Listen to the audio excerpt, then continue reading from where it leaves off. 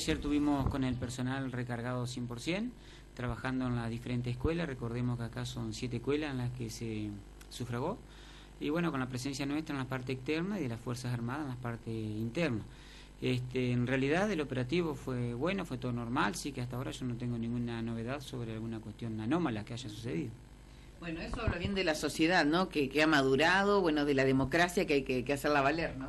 Sí, sin duda, creo que todos es un comportamiento bien de toda la sociedad, de toda la Fuerza Armada, de la Fuerza de Seguridad. Tal es así que eh, las personas que concurren a esta dependencia, hacer la constancia por no votar, también fueron menos. Recordemos que fue 208 el total de personas que se hicieron presentes en comisaría el 9 de agosto y ahora el 25 de octubre fueron 189. Estamos hablando de 19 personas menos, pero eh, todo suma. ¿Y esa, eh, por qué son los justificativos? ¿Varían los motivos? Y en algunos casos son problemas de salud. Eh, muchos son personas mayores que tienen este inconveniente grave de salud y en otros casos son de, de distancia, ¿no? que le queda este, el recorrido es largo por llegar a su, a su domicilio actual donde tienen registrado el, DNI. Claro. ¿Y aquellos que no justifican eh, su voto, ¿qué, qué puede pasar?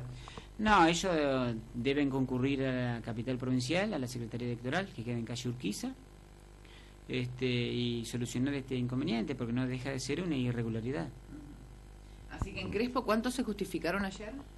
En total son 189 personas que justificaron el no el no haber su, sufragado. ¿Ustedes estuvieron junto al personal de gendarmería en lo que fue el traslado de las urnas que estaban en el correo? Eh, si bien participa personal policial, pero es este policía designado desde Paraná. Nosotros eh, hacemos siempre este, la guardia, como quien dice, la noche anterior. La noche posterior queda personal de la Fuerza Armada, Gendarmería o si no Ejército, y viene un móvil policial que es el que acompaña el traslado hasta que lleguen a Paraná. Bien. Bueno, el fin de semana hubo poco movimiento, eh, los comercios debían cerrar sus puertas ya a la hora cero, no vender alcohol, en ese sentido, este, ¿respondieron bien? Sí, si bien yo no estuve, estuvo el segundo jefe, el subcomisario Borguelo, pero sí, según lo ha noticiado por él, esto de todos se comportaron en forma de vida.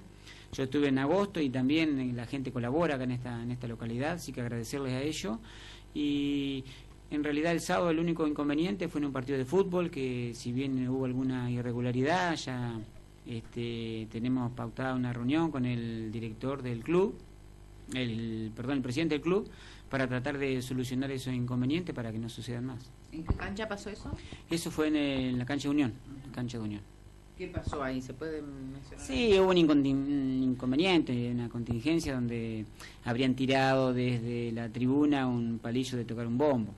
En razón a ello, el árbitro decide suspender el encuentro futbolístico y el que sale perjudicado, lamentablemente, es Unión. Claro, pero no lastimó a nadie. No, no, no hubo ninguna persona lesionada, se lo hizo ver al árbitro con el médico, con el especialista ahí, pero no es nada grave. Bien. Bueno, eso fue todo en materia policial entonces del fin de semana.